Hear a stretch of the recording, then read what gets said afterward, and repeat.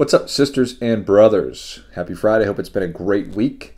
It's certainly been an interesting week with news coming out about Elon Musk getting sued by the SEC over stock manipulation, or I think uh, fraud is what he's being sued for. Should be extremely interesting to learn more about that. Uh, not even been in the news at all, though. The news cycle's been dominated by Brett Kavanaugh's uh, Supreme Court nomination. And I'm sure that, that will continue on next week. Um, strange times that, that, that we live in, most certainly. Uh, it's been a great week on the Money Savage podcast. On Monday, we had Harris Nydick and Greg Makowski coming on to talk about uh, their approach to financial planning, which is a self described common sense approach.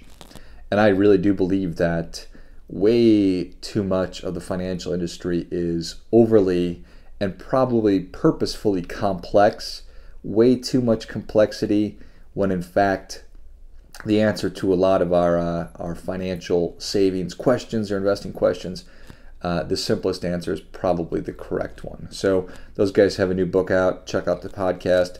On Tuesday we had David Lau talking about commission-free life insurance and annuity products.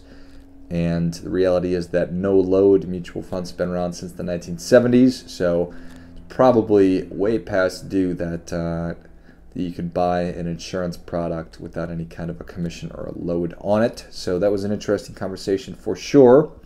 On Wednesday, we had Wade Pfau on. He is a professor at the American College of Financial Services talking about uh, the retirement income phase of life and specifically coming up with a retirement spending plan. So, so much is talked about how much income we need to have when we retire, but how much money can I spend? That's a really important question, and it was a great take and an interesting conversation. Thursday, we had Michael Dinich on talking about how to reduce health insurance premiums, and this is applicable for folks who are entrepreneurs.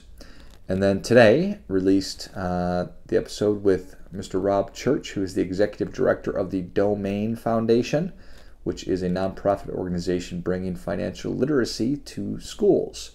So, teaching it in the classroom, which I know that I've certainly talked about in the past. Uh, the idea that this is stuff we didn't learn in high school, so his group is working to change that.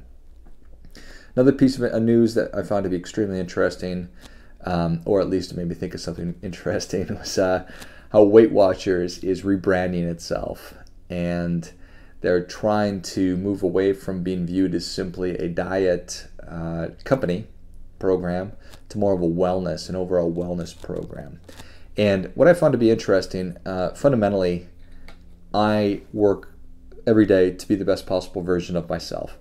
And I work every day to help those that I have contact with, um, my clients, my friends, people in my community, to be the best possible versions of themselves as well, or help them to be whatever version of themselves that they want to be. Help create positive behaviors, get rid of bad habits, create new good habits. And that's really what Weight Watchers is designed to do and, and does. And it's all built on, or at least uh, the reason that they're able to do it is because of the community aspect of it. Not unlike Alcoholics Anonymous, not unlike uh, the phenomenon of CrossFit what it's doing is, or what the community does, is it helps uh, with positive reinforcement. Um, it can also help people call you out on your stuff when you're slacking a little bit or you are um, BSing. The community can help you with that as well.